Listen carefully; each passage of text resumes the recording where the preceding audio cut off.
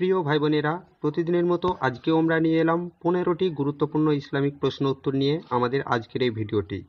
তো অনুরোধ রইল, ভিডিওটি শেষ পর্যন্ত দেখুন। আশা করি নতুন কিছু প্রশ্ন উত্তর জানতে পারবেন। আজকের প্রথম প্রশ্ন বিসমিল্লাহ কথার অর্থ কী? উত্তর বিসমিল্লাহ কথার অর্থ হল আল্লাহর নামে শুরু।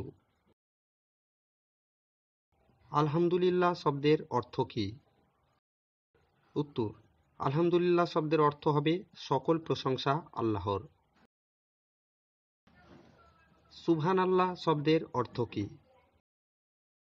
উত্তর সুবহান আল্লাহ শব্দের অর্থ হল আল্লাহ পবিত্র। আল্লাহু আকবার কথার অর্থ কী? উত্তর, আল্লাহু আকবার কথার অর্থ হল আল্লাহ সবচেয়ে বড়। মাশাল্লাহ শব্দের অর্থ কী? উত্তর, মাশাল্লাহ শব্দের অর্থ হল আল্লাহ যেমন চেয়েছেন।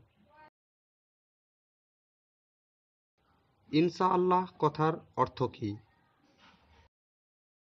উত্তর ইনশাল্লাহ কথার অর্থ হল যদি আল্লাহ চান। লা ইলাহা ইল্লাল্লাহ এর অর্থ কী?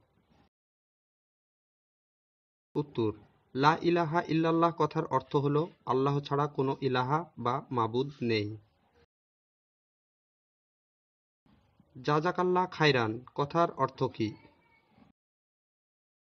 উত্তর, জাজাকাল্লাহ খাইরান কথার অর্থ হল, আল্লাহ আপনাকে উত্তম প্রতিদান দিন। আস্তাগফিরুল্লাহ কথার অর্থ কী? উত্তর আস্তাগফিরুল্লাহ কথাটি ব্যবহার করা হয় আল্লাহর কাছে ক্ষমা চাওয়া ও তওবা করার ক্ষেত্রে। এর অর্থ, আমি আল্লাহর কাছে ক্ষমা চাই। সুবহানাল্লাহি অবিহামদিহি কথার অর্থ কী?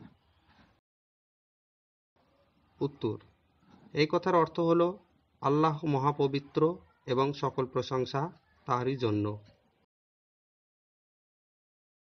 সুবহানাল্লাহিল আজিম শব্দের অর্থ কী? উত্তর, মহাপবিত্র আল্লাহ যিনি মহান। লা হাওলা ওয়ালা কুয়াতা ইল্লা বিল্লাহ। এর অর্থ কী? এটি কখন বলতে হয়? উত্তর, এই কথার অর্থ হল আল্লাহর সাহায্য ও সহায়তা ছাড়া আর কোনো সহযোগিতা বা সাহায্য নেই। এটি আল্লাহর একাত্ম ও বড়ত্ব প্রকাশ করতে বলতে হয়। নাউজবিল্লাহ শব্দের অর্থ কী? এটি কখন বলতে হয়? উত্তর, নাউজবিল্লাহ শব্দের অর্থ হল এই জিনিস থেকে আল্লাহর কাছে আশ্রয় চাই। এটি সাধারণত মন্দ কিছু শুনলে কিংবা দেখলে তা থেকে আশ্রয় প্রার্থনা করতে বলতে হয়। ইন্নালিল্লাহে ওয়া ইন্না ইলাহে রাজিউন। এই কথার অর্থ কী? উত্তর এর অর্থ নিশ্চয় আমরা মহান আল্লাহর জন্য এবং আমরা তার দিকেই ফিরে যাব।